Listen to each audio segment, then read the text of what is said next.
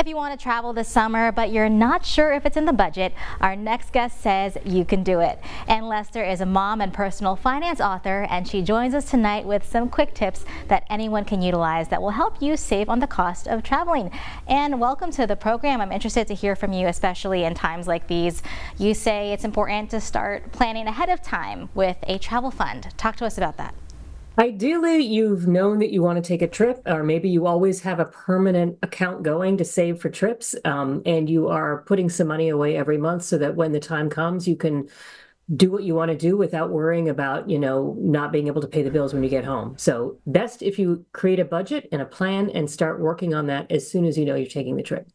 And you said that there's things that you can start to cut off in the meantime, simple things. Talk to us about that.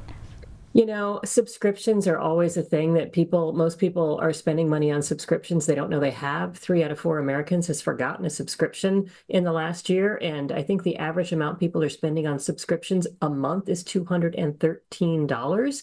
So if you've got uh, an iPhone, look in there and see what you're paying. Look at your credit card bill. If you haven't watched that channel in the last month, cut it off at least while you're saving.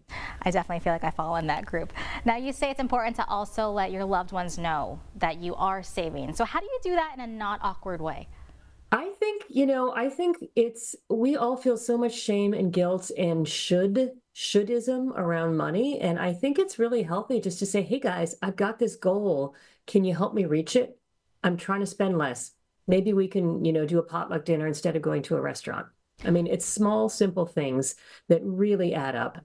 We were talking about how we save ahead of time, but there's also ways to save while you're on vacation. So say we're here now, how do we save while we're enjoying ourselves? So, tip number one there is a ton of free stuff to enjoy anywhere you go in the world. So, my son and his girlfriend uh, went to New York. Uh, we live in a, a, train ride away from New York. They went into New York yesterday. They walked on the High Line free, went to an exhibit at the New York Public Library free. When it got hot, they went into a, a used bookstore and spent half an hour looking at books free and then they went out for a nice lunch. So they had a great time. The, the price was a train ticket, and they were able to have a fabulous day and really not spend any money at all. So I know when I'm on vacation, sometimes you get into vacation brain where you're like, oh, yeah, I can go scuba diving. Yeah, I can pay for this vacation picture. So when you're in that mindset, how do you decide what is worth the splurge and what's not?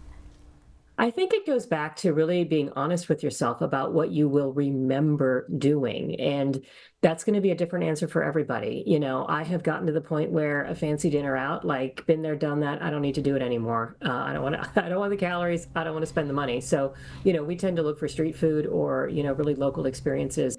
Um, I'd stay away from the top ten lists of must-do things um, that that get you into kind of a social media frenzy because then you might be doing things so you can tell people you did them and not because you actually want to do them. So that might be something to keep an eye on too. You gave us a lot to think about, and thank you so much for those tips. Thank you. All right, guys, keep it here. We'll be right back.